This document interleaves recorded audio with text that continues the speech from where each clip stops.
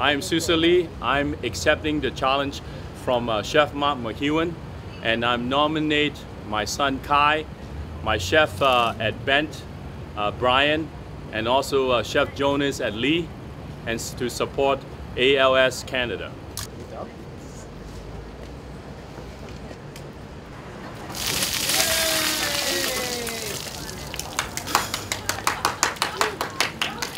Thank you guys.